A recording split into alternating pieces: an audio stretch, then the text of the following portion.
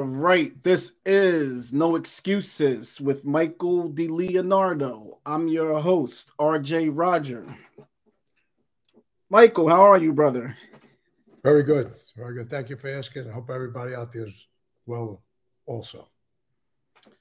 So, guys, this was a completely unplanned thing. Um, we usually give people a few day notice before we before we go live, but um, Michael and I were talking and it dawned on both of us, well, him, and then he let me know. Um, RJ, that's how you say my name, Michael. um, today's 12 12, and it and didn't even hit me at first. Um, and I said, What are you talking about? And he said, Well, we've been discussing for the last four weeks, and I put it all together. So, on our Patreon show for the past uh, four weeks, we have been combing through the Gotti tapes um, the transcripts line by line on Patreon. We have, you know, the first four episodes are available, and um, the most critical of all the tapes were the December 12th tapes, hence today, 12 12.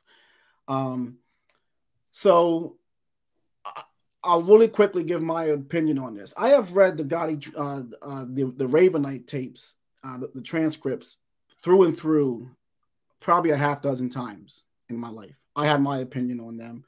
Um, Michael, as an insider, a guy who was there, as um, has broken these tapes down in a way that has been so revealing to me. It has completely changed my perspective um, on the entire situation that led to everything that we all know that happened. Um, so, and from all the feedback that we get, it looks like a lot of the audience has a similar opinion. So, Michael, let me ask you today's 12 12. Tell me the significance of these tapes uh, of, of this day. Well, this is a day that took John down and uh, put him in jail for the rest of his life. This is a day that he regretted every day he was in his cell. That all the people were going to get hurt from it, himself never being able to come home, the embarrassment of getting caught on tape like that, the breach of protocol of talking about all the substantive stuff he did, incriminating stuff that inculpated himself and many others in the uh, crime families, um, especially the Gambino family. And um, I know John every day regretted this day. He was hot. He was angry. He was disappointed with Gravano and a lot of things that were going on. But there's no excuse for him to talk in a place consistently like that. And John became aware of that after he found out he was on tape. I tell you, something I think I said in the past. Early on, John had told me one day in passing, he says, Michael, if I ever get caught on tape, talk, like Paul Castellano got talking in his house, getting comfortable there, I'll throw myself off a fucking bridge. He got caught on tape again. It wasn't the first time John got caught on tape. But this one was a devastating blow to him and everybody else, like I just articulated. At the end, Another comment he makes to me, he comes over, he gives me that pat on the chest, and he goes, Michael, I become a creature, very solemn. I become a creature of habit. Don't become a creature of habit. At this point, he knew he was getting arrested. He probably found out that that apartment was bugged. So this day creates a lot of things for him.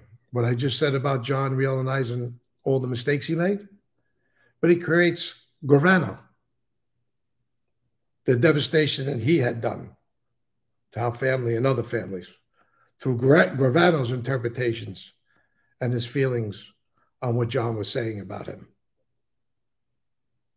The ramifications of this day is what changes history for the Gottis, for the Gambino family, and uh, history in itself of what, what transpired in that apartment through his mouth. John got too comfortable. John forgot his own advice. You're not supposed to talk about murders. You're not supposed to talk about the things he said. What I'm doing here is I don't have a side to pick, John or Sammy. I'm just telling you what happened, what transpired, what was going through his mind at that time that I feel. And um, his opinion of Gravano, how it changed over the course of from 1986 to this point, 1989. A lot of things transpired. Not only John fell asleep in that apartment talking in it through his anger, but through his sleeping with Gravano. He knows he let him go too far. He knows his position was at risk. Within a year, no, a year later, uh, they they all get arrested. Four guys. Who knows if this day with these tapes, how bad, however bad it turned out, may have saved one of their lives and more lives after that, because I really feel one was going to kill the other sooner or later. After hearing these tapes, let me just say, I'm not Nostradamus and I don't have a crystal ball. I did not know, like many other people, that this was going on, this riff between John and Sammy. Nobody knew about these tapes, what was on them. Only the people, the participants in that room. So this is a day that changed the world for the Gambino family at that time. So let me uh, follow up a little bit here. The biggest thing that you've brought attention to, I feel like you opened up a new piece of history, truthfully. Most of what we have heard about these tapes have largely come from the only person who's left to talk about it. John's not here. John's voice is the tapes. That's all we got to to know John's psychology of that moment and what was going on in the family. And we don't have to rehash the whole tapes right now because we already went through them. But if you can just touch on it a little bit. In a nutshell, what is it that you would say is the biggest misunderstanding that's out there about the dynamics between Sammy and John? Well, yeah, two people who had leadership qualities, two people that were very strong, had very strong crews, two people without Frankie DeCicco in the middle to be the oil between them. Turned out to be a disaster because these are two big egos. And if you think Sammy didn't have an ego, you didn't know Sammy. Sammy was a powerhouse. Sammy knew he could take that family over. What would happen after that's another story with other families. But that's something we'll touch on in the future. Uh, but Sammy had the ability to usurp John. And that wasn't just through a vote, it would have to be to kill him. And I think, listen to these tapes. I know I don't have to think about it. I know through these tapes, someone was going to die sooner or later. It's only a matter of time. I'll get into John's reasons why he did it, why I think why he didn't kill Sammy. He let it go for another year. Um, Sammy, I think at time, if he would have realized that John was that angry and it would have got out sooner or later, or John taking him for that walk, those million time walks that John said on tape, sooner or later, Sammy would have known he was up against the wall and feeling he was, feeling he was going to be punished for something that he thought he was doing good for the family, which, listen to the tapes, Sammy made a lot of mistakes doing what he did that caused John to be that angry. Yeah, that's what I would say is what you opened my eyes up to see is that John, it would appear to me more that what you helped me to see was that John was John trusted Sammy. He he trust he trusted that you're working in the interest of the administration. Um, and then when he realized later on huh, maybe that's not what's going on here. Yeah, yeah, absolutely. so the anger, would you would you say that the anger in that apartment was that realization? Oh yeah, it, it all it all started to hit him at this point. And we have a couple of more tapes. I don't want to go too far. We have a couple of more mm-hmm. tapes from this day. I want everybody to understand what we already done with these tapes is still the same night. this is not another day. And we still got hours more to talk about from the same night. Most of these extra excerpts we give you, the first one was 10 minutes long and change. The other one was 19 minutes long. The one we're working on is 18 minutes long. But we took a talk for two hours about breaking them down. Because behind every thing that comes out of John's mouth means something in the way he puts it, in his street jargon, street vernacular, his street talk, the way he's talking to Frankie Loc. And Frankie Loc is gets it, don't don't get it, is nervous about what to say, says the wrong thing, then says the right thing. John's very frustrated with Frankie Loc also. He's trying to figure out where Frankie Loc is. Frankie Loc is a good guy. But John's not thinking that he's a good guy right now because he's not taking a strong acting underboss position with John in concert. And John's getting furious with the both of them right now. So I'll give my reasons why John, I think, lets it go down the road. Uh, but we still got more to talk about, and I think there's the next couple of tapes are going to be more interesting as to see really what John's. It's it sounds like it's about money. Sounds like it's about it is about money, but it's not about money. Be patient what I say. John's not a money guy. He wasn't about money. He entrusted Sammy to bring. You, br- I tell you what to do. I gave you industry. You just bring it. I don't want to see books. I don't want to see records. I don't want to hear where it came from. And he's right. You're putting your life up by handling that. Like when I got that message from MCC, congratulations, you got the construction, you and Eddie. Fuck up, we're killing you. right? So Sammy had the same, he didn't have to get that message.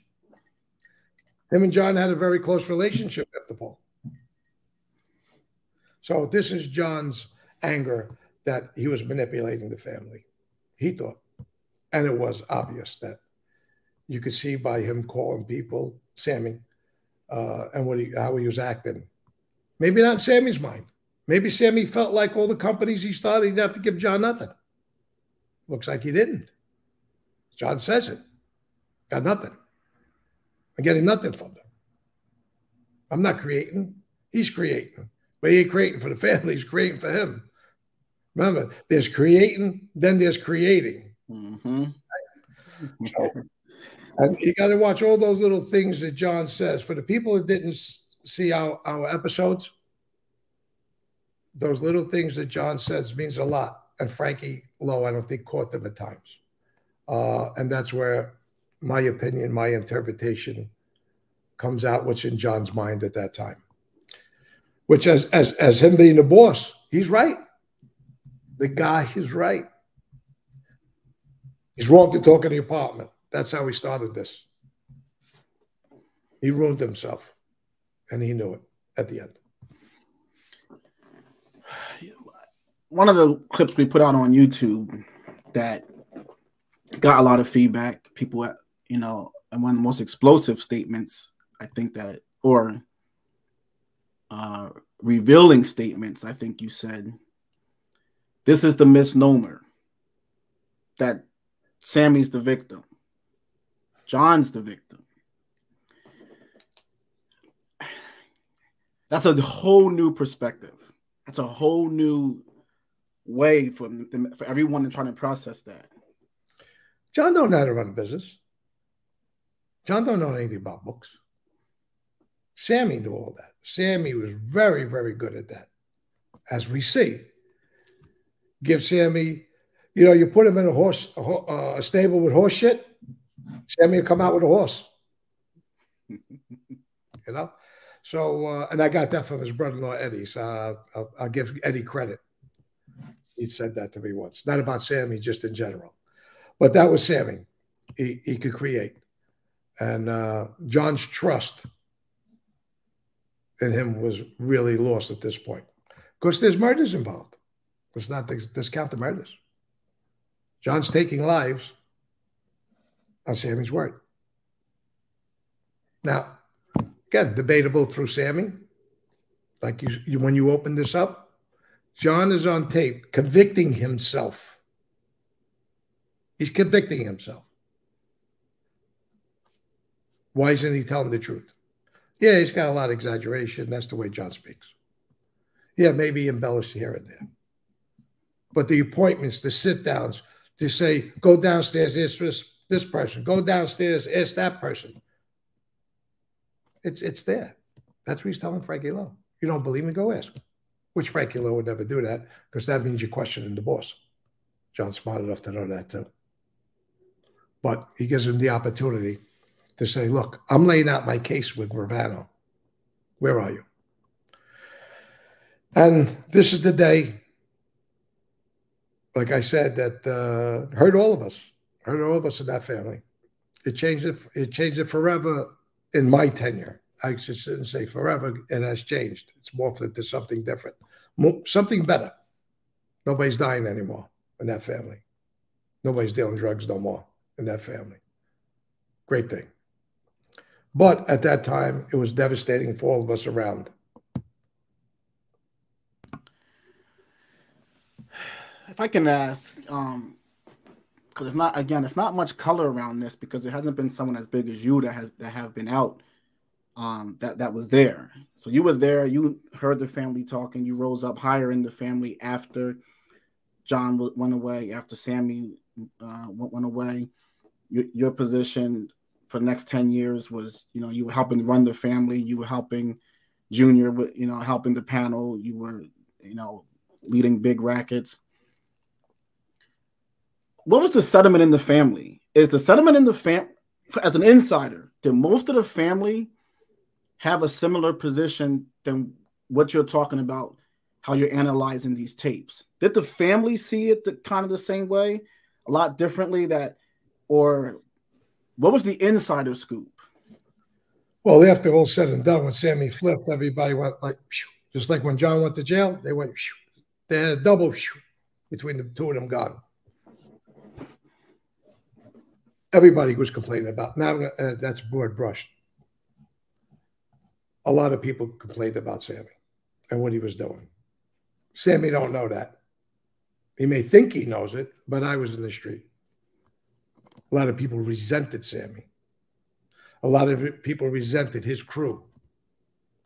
Three guys were going to die in his crew because of it. They wanted to make sure that crew never came back. Killed three of the main people there were close to Gravano. So, yes, there was definitely rumblings. And look, after the fact, everybody could say, "Yeah, I know about this about Sammy. I knew that about Sammy." That there's so, most of those guys are full of shit. They didn't know nothing. They used to go there and kiss Sammy's ass, right?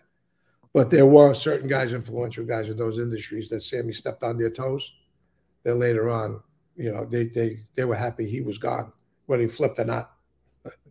You know, they were worried about him flipping because he sent a lot of those same guys to prison.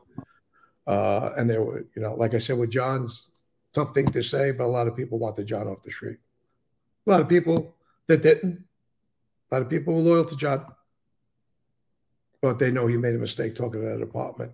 And uh, when people are going to jail, it's hard to like somebody still. When you get when you run your mouth the way he did, when he should have known better, and the damage he caused.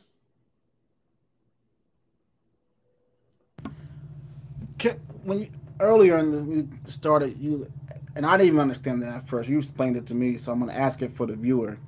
When you say John fell asleep, and I, am not going to fall asleep the way Paul fell asleep. John said that in the raven Ravenite. I'm not going to do what Paul did. What does that mean, fall asleep?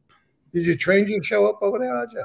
Just had a train in the back. Is that a train in the background? Yeah, yeah, yeah. It's real. It's Look a, on it. You're late or something. Pass us through once a day. I open up a coffee shop over there. You and I come on, open a coffee shop. uh, guys, what was that question again? So in the tapes, um, John says, "You know, I'm not going to be like Paul. I'm not going to fall asleep." Um, what is that? Can you explain to everybody in layman terms what John's saying? But I'm not going to make the same mistake as Paul and fall. To, I'm not going to fall asleep on Sammy. Paul fell asleep on John. John yeah. said, "I'm not going to fall asleep on Sammy." Yeah. Well, what does that mean? Well, John fell asleep on Sammy. Now he's he's regurgitating all the mistakes that he made by letting Sammy go. He gave Sammy full reign, and now he sees it's it's not just the money, but it is the money. John's supposed to be getting the money. It's not that he's embarrassed by Sammy taking things he's not supposed to. It's not that all the captains were coming in beefing to him with every industry. It's the Burgess too. He realized it, it's a collective compilation of things that he realized what the what happened here. He's saying he's not going to fall asleep, but he really means he fell asleep. And it's going to stop now because his eyes are open now. It all hit him.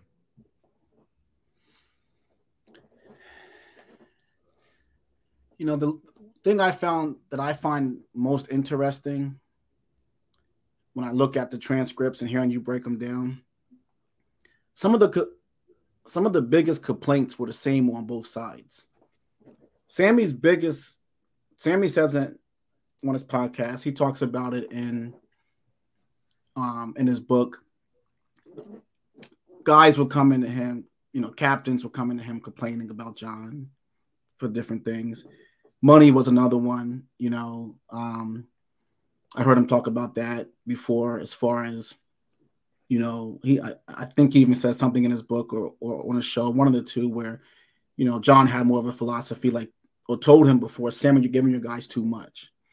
But if you look at the transcripts, Gotti is saying, he says in, in one section, 25 captains in the family, 22 are coming to me with a beef about Tammy, about all the money's going in one direction. It's he talks about I'm not going to create an army within the army. I'm not going to, you know, he's talking about it looks like on John's side, he's worried about the rest of the borgata, the rest of the family.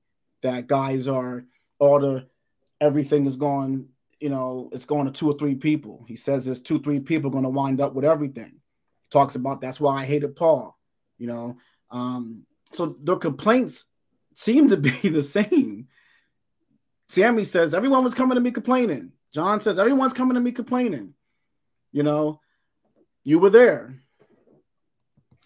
The only complaint I heard about John, and there were whisper complaints, it was going to, and the guys that were very, very close, was going to the Ravenite, going to the Bergin with the FBI outside all the time.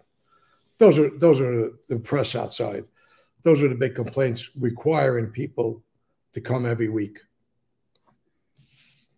And guys, like I said, after a while, I, I, had to be five days a week at the Raven Ravenite, one day out in Queens. Uh, was required six days a week. That's what he wanted. That's what I did. I didn't complain about it. Was it right? I told Jackie one day we're walking to uh, towards the Ravenite, and uh, there's, there's, FBI all over. They were sitting in the car in front of the of, right in front of the club, and uh, I said, Jack, this is lambs to slaughter. And I know I could get away with it with Jack saying that. I couldn't get away with anybody else. So that was probably the biggest complaint, pulling all these old timers and guys. Uh, the FBI didn't, didn't even know a lot of the old timers. A lot of these guys were in the woodwork and pull them out and put them on film and taking pictures. And if when there's cases, that's all you got to show is this mass group of mob guys hanging around a club. It doesn't look that good. Uh, the, the gripes about Gravano were, were money. Sammy didn't make a, little mistake there also. Sammy didn't make everybody rich. His crews didn't get rich. They got jobs. They handled certain things. There's certain guys that made a lot of money with him, no question. But there's other guys that they didn't get rich. They all they earned a living. They were able to open up companies, but they all gave Sammy an end. Jack Colucci, for one. Sammy shot his father in the head. He had the kid with him. Another story. It slipped. Uh, but he, he, Jack was giving Sammy money. Everybody gave Sammy money. Yeah, he let them in the business. Jack was in the concrete business. So, uh, you know, that's what John means. But as far as uh, everybody complaining about John, I never heard anything besides everybody show up. That's it. Even after, we'll talk about during, right? And after. I never heard anything about John, negative in any other way, besides the tapes getting caught in the apartment and him having everybody show up. There was nothing that I could think of that they knocked John for.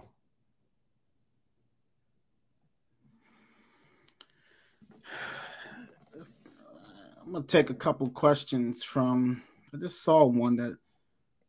Um, get your opinion on this. Um, I feel like. Hang on one second here.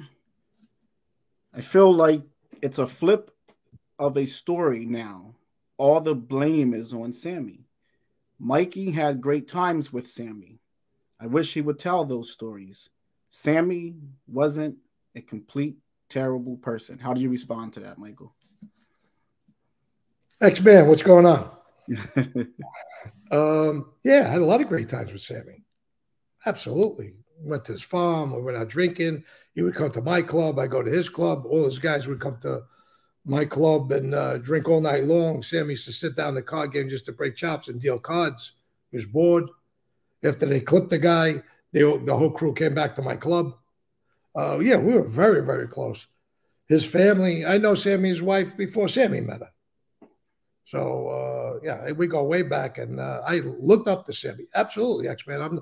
This is this is just a breakdown. Let's not get lost, everybody. Let's not get lost again on everything outside of the tapes. We're breaking down the tapes. Now, there's an old saying: "You're friends until you're not." You know what I mean? Doesn't mean because you're friends once, you're going to be friends forever. Just like a marriage. That's why I got a divorce. And everybody get, girl gets half, guy gets half. Today, everybody's equal. Goes away. Uh, but no. Yeah, of course I have X Man. Of course I had a lot of good things with Sammy. Sammy treated me very well, very well early on. But things changed. And be, I'll be talking about a lot of things with Sam coming up. My opinion, my observations about how they changed. Like I just talked about John. People were saying I don't to say nothing negative about John. I just told you he made the second biggest mistake of his criminal career, and it cost him his life. We'll talk about the first one another time, if that's okay, RJ. That's okay, buddy. Thank you. I hope you. I hope I answered that. And I, when you say I feel like it's a flip. On my end, your end, RJ's end, whose end flipped? Because I didn't flip flop. so throw another yeah. question at RJ. I have a question. The consigliere is the consigliere bypassed when money is kicked upstairs to the boss via the underboss? No, typically it goes three ways. Yeah. Third, third, and a third. Is that right? Third, third, and a third if you're from Brooklyn. yeah, exactly. That's funny. I like that's true too. Yeah, each person gets a third is the answer. Um, it's broken down between. Now there have been greedy bosses in the past that would take fifty and they would give twenty five and twenty five to the uh, uh, consigliere, and the underboss would take twenty five. Uh, uh, underboss isn't necessarily supposed to have a, have a crew anymore, so he's not supposed to be getting kicked up from the crew. Is that right? Either one of them not supposed to have crew. 100%. Yeah, yeah. Didn't want to be wrong with the last capo on the line. uh, there's plenty more, plenty no. more guys than me. Yeah, yeah, yeah. Um, let's see. All right, let's see this one. What's the best protocol to not get caught on tape? well, yeah, he's right. There's ways. See, John, let's let's put John back back in in play. He was the most high profile guy probably in the country. Not probably, he was in the country. uh, number one target by the government. John was out in Manhattan almost every night, four or five nights a week, except when he went home and was at the Bergin. Um, he had plenty of opportunities to go to different, not rent a hotel room, not things like that to talk. You take a walk talk. You bounce for one restaurant and then you jump in another restaurant. There's so many, you get on the train. There's so many different ways you could do that to have a walk talk and not get caught on tape. As long as you don't become a creature of habit where they plant bugs. If you're going to talk at a social club, it's bugged.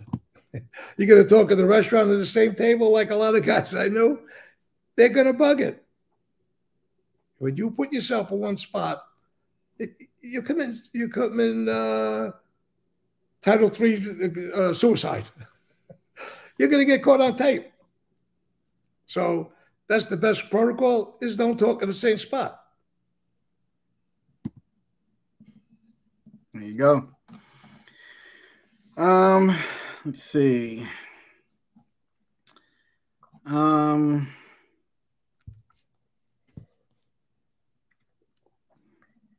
All right. Why was Sammy still allowed to earn and build businesses while in the administration? Well, that was the part that John entrusted him with. Don't forget, Sammy wasn't going to be part of administration. Frankie DeCicco wasn't there. Uh, so when Frankie dies, the dynamic changes. And as I alluded to earlier, was that John knew zero about the construction business, nor did he care to know zero uh, anything about it. He wanted to know nothing. So when Sammy was the person who had all that knowledge, John gave at least a dual role besides being an administrator, uh, which was a mistake. Uh, nobody in administration is supposed to. You have your own businesses, you have your own things going on, but nothing, as that word again, create and um, and handle us hands on. Because in the, in that business, when you're dealing with contractors directly and dealing with a lot of captains, other families, or soldiers, uh, union guys, you're really susceptible to get pinched. You you open yourself wide to so many people. Administrative people are supposed to be in the shadows. Talk to very few people. Have buffers. Remember Jackie Nose? You're Tommy Bilotti. Right? I love that. Jackie.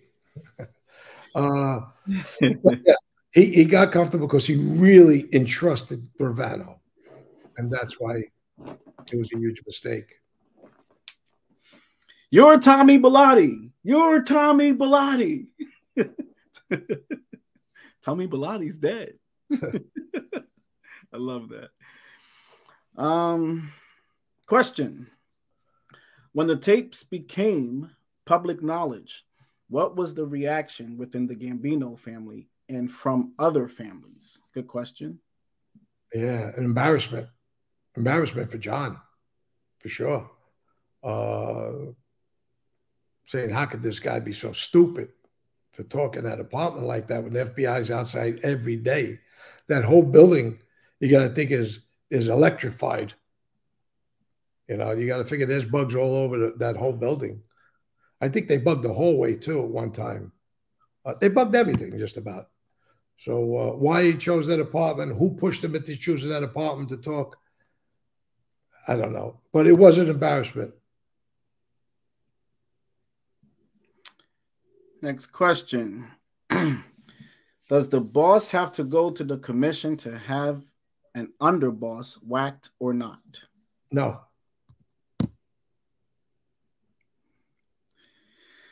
Um, Mikey, what happened to Toto Aurello after Sammy cooperated? How did it sit with him knowing he was his mentor? And how did he die in the end? I didn't understand your answer a couple days ago. Yeah, it, he, Toto had a very bad heart. He was up in age. He died old age. He, he died, let's say, tongue in cheek in his bed. He had a great life, Toto. Good guy. I, I know Toto when I first started to walk. I know Toto. Uh, never really talked to Toto about it after Sammy cooperated. No need to go there and talk to him about it. Uh, it wasn't my place. But I'm sure he was uh, brokenhearted and devastating devastated by Sammy's cooperation. He's a, a guy. He, uh, I, I really believe he loved Sammy at one time. So when Sammy says that, I'll agree with Sammy on that point. That Tonto really liked or loved Sammy at one point. Um,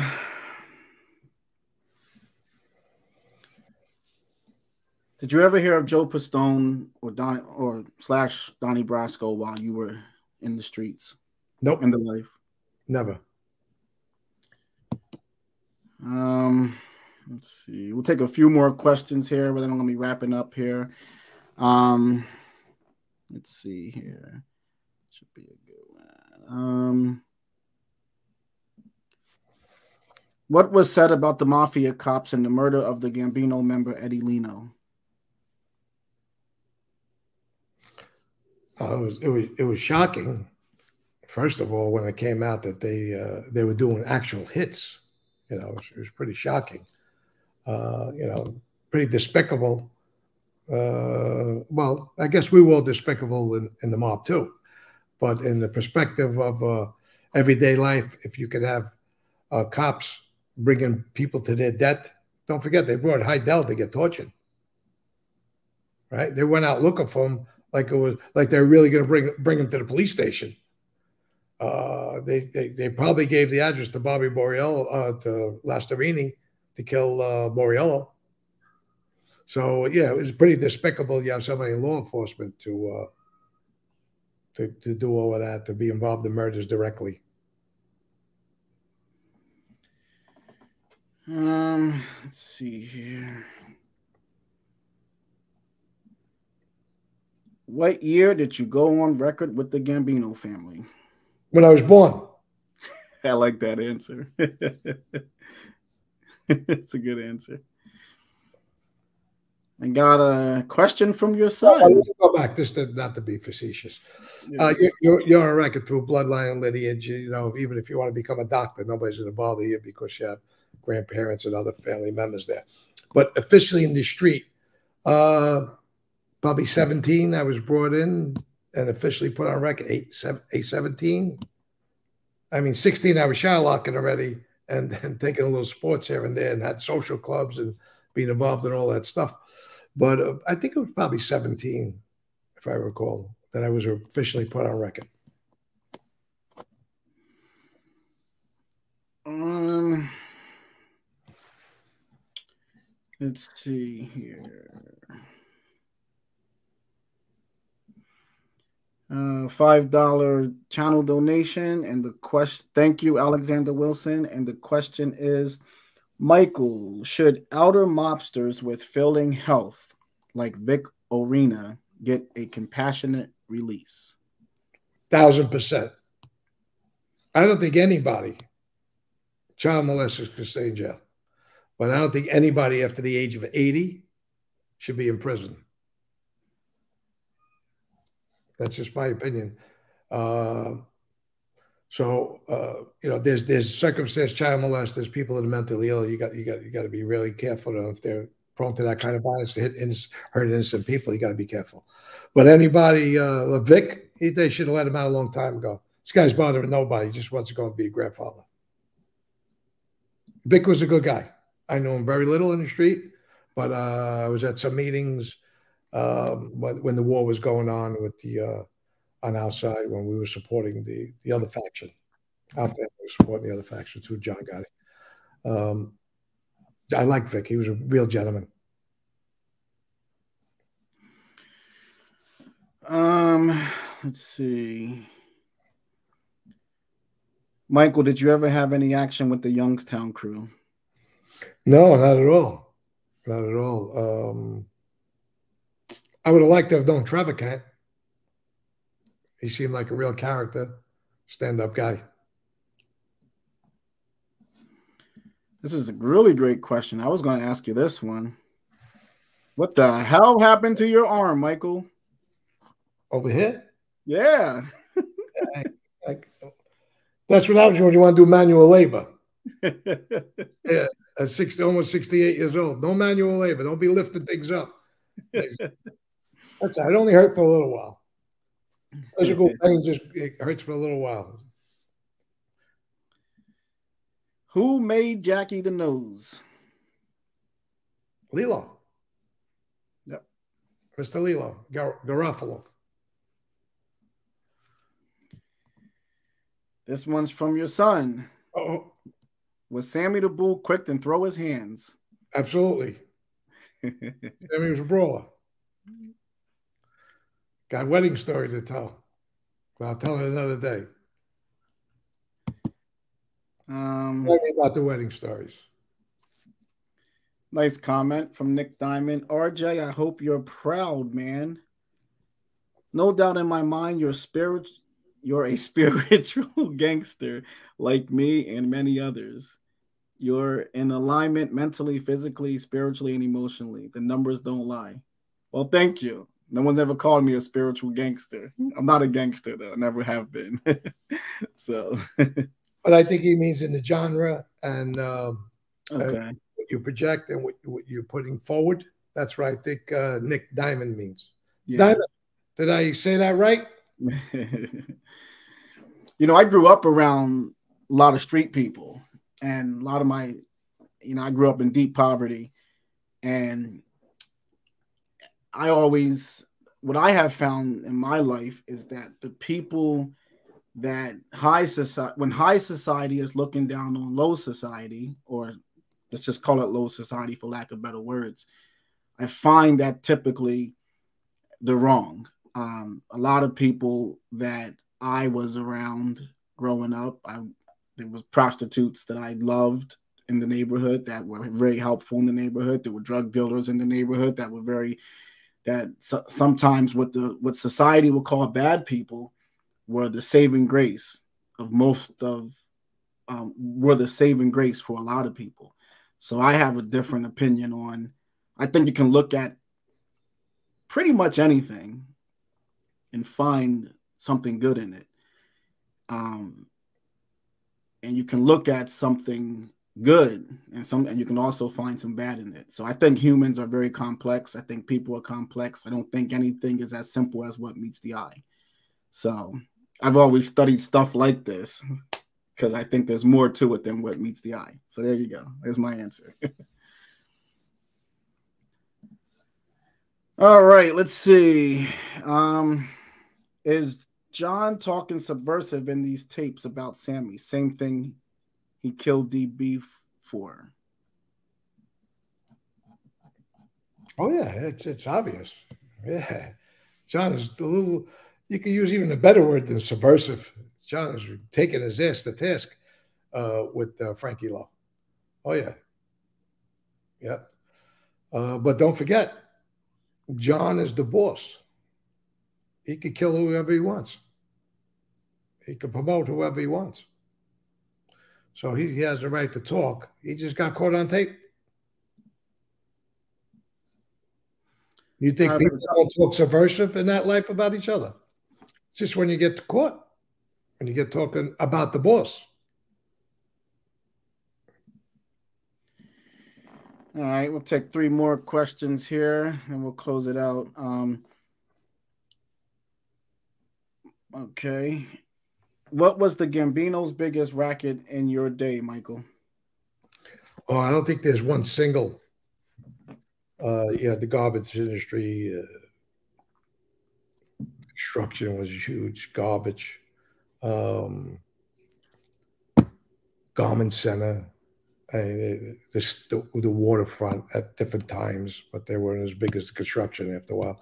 Uh, there were so many big industries. There were constants because they were always there. So uh, the money kept flowing. Uh, after Sammy flipped, uh, a lot of those dynamics changed because he exposed a lot and it hindered a lot of that huge money coming in. It wasn't what it was. Uh, but I, I, would say that the, then Giuliani crushed the private sanitation business, um, fish market, Javits Center, there was a lot of stuff. There was a lot of money being generated. Javits Center wasn't ours though. Uh, but back to the Gambino family, it was the industries I just mentioned, the constants that's always been there. Um, who was your favorite person to sit with for business affairs outside of the New York uh, families? Well, I really didn't do too much outside, outside of California, I believe. Um, so, but I took Jackie out. But does that count? I took Jackie out there with me. We went to go see the boss of uh, in California, Pete Milano at the time. Uh, we had some fun with Pete. Got a nice California stories coming up with Pete. Some I can't find the question, but I remember it. I was getting ready to ask it. Someone said, uh, "What is the number one thing that you miss about the life?" Everything. When you're in it, when you're in it, arms and legs, when you live it to what you think is your fullest, there's not not to like about it. Even the treachery. You just got to learn how to navigate treacherous people, uh, which is an art in itself. You know, there's there's a lot of people who don't get caught up in the politics, who have some great runs. They stay under the radar. They they they make their money. They do their thing. There's no uh, power grab in their mind. I want to be captain. I want to be in administration. I want to be the boss. There's a lot of people don't want that. And they coast for this whole life. And they have a great life. It's, it's a lot of people don't go to jail. Not everybody goes to jail. The expectation is you may go to jail and get killed. Absolutely not. But it depends how much you immerse yourself in that life, or, or people put you in the position to say, hey, we need you here. And now you're involved in different levels of that life. There are different levels of their life. There's a lot of broke guys in that life. It's miserable when you're broke. It's you have to earn in that life. So uh, it, it, it, it, can be it can be daunting at times that that you know your your family thinks you're, you're this big mob, mob guy. And, and you could be. You could you could be a guy that did a lot of work, but be dead broke. You could be the degenerate gambler or never have the opportunity, which led to a lot of disruptions in families over the years, over the decades. That certainly the Gallo War, you know, uh, with Facci and all that, uh, the money went one way. You know, guys were disgruntled. So yeah, uh, but I, for me, my personal thing, I miss every aspect of it, even the bad parts. You got to take good with the bad.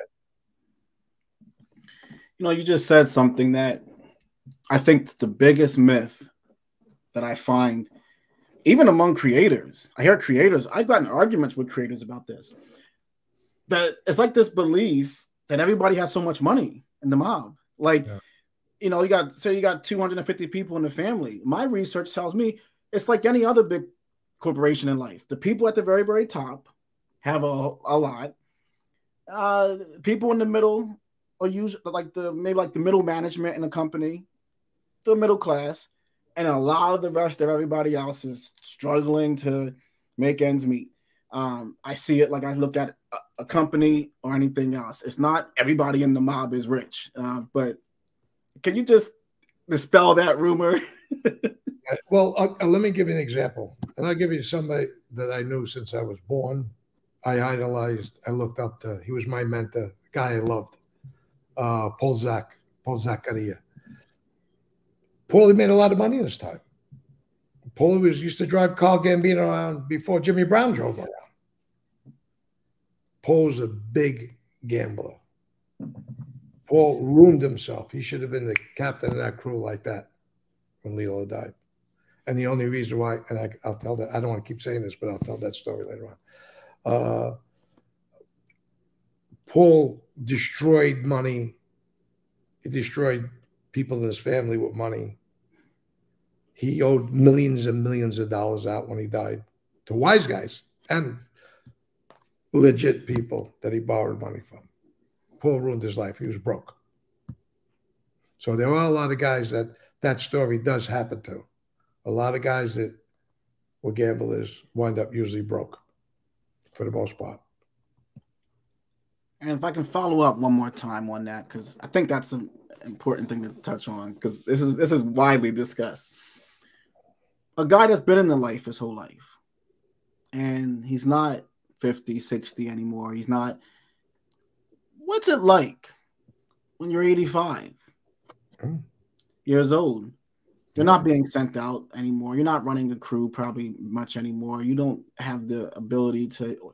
Maybe you're having health issues. Maybe you're, you know, how does a guy who spent his whole life in the life live well, when he's no, there's no pension plan. You had to put that money away through your whole tenure in, in your life. You had to be smart enough to, let's say, buy property, own a couple of buildings, own some homes that you rent out, and collect an income, invest stock market and stuff. You had to be savvy with your money. If you're going to wait and wait for the next day and the next day to earn, you're going to go be broke sooner or later. You're going to have a terrible old age.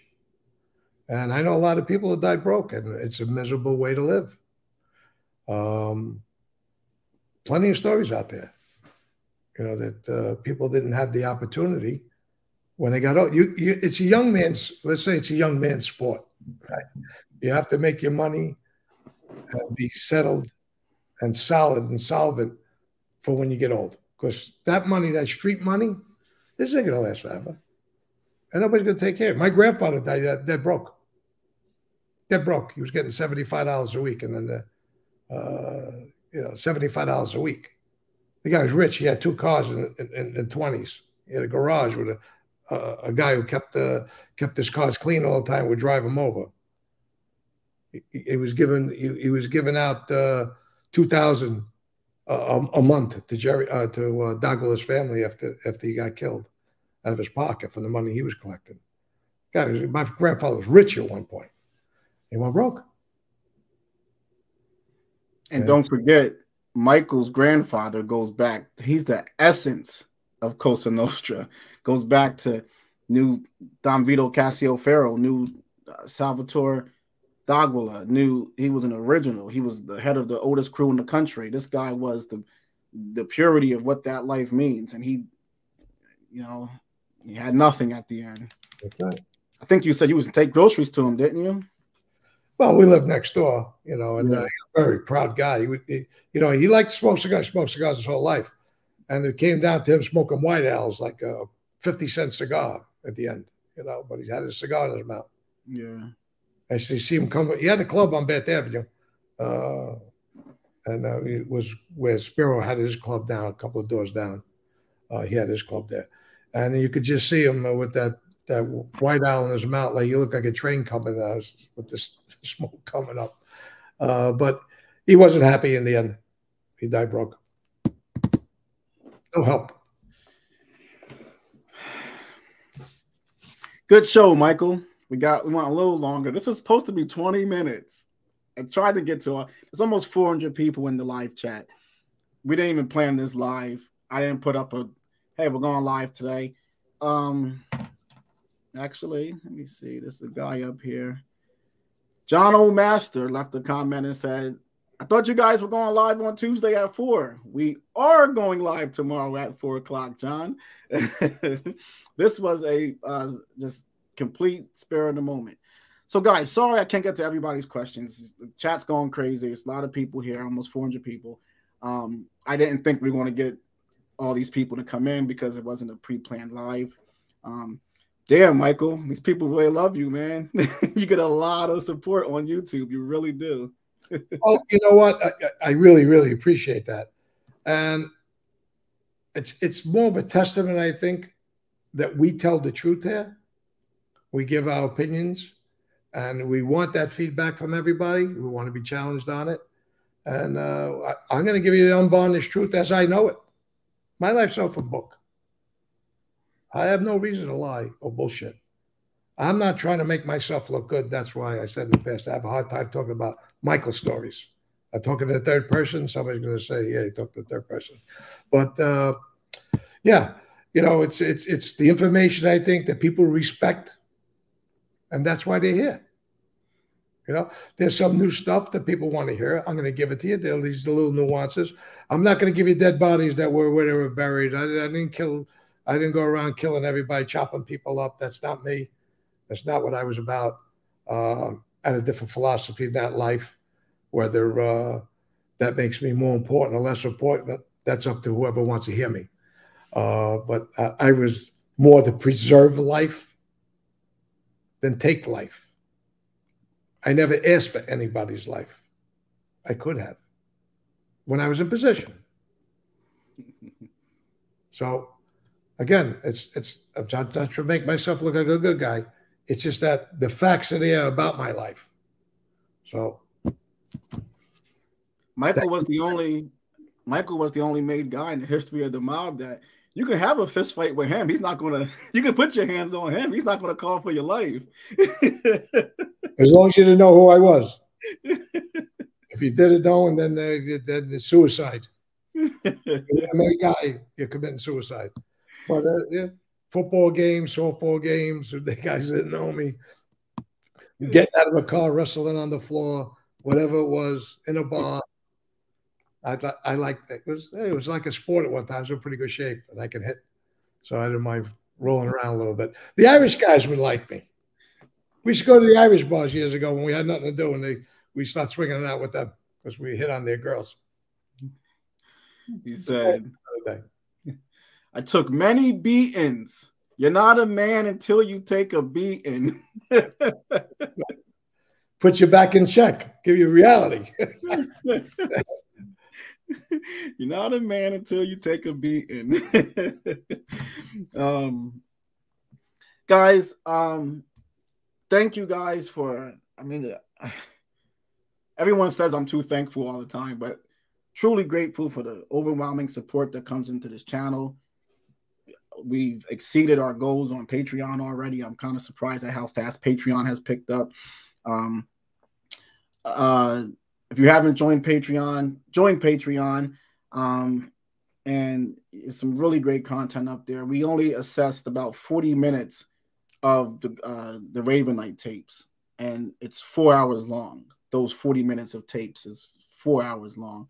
Um, so you're really going to get an insightful, a very insightful perspective on these transcripts. Um, it's it's been I mean I've read every book you could read. I've been studying the mob my whole life. I never saw I, I mean this is it it's astounding to me. So um, please support our Patreon.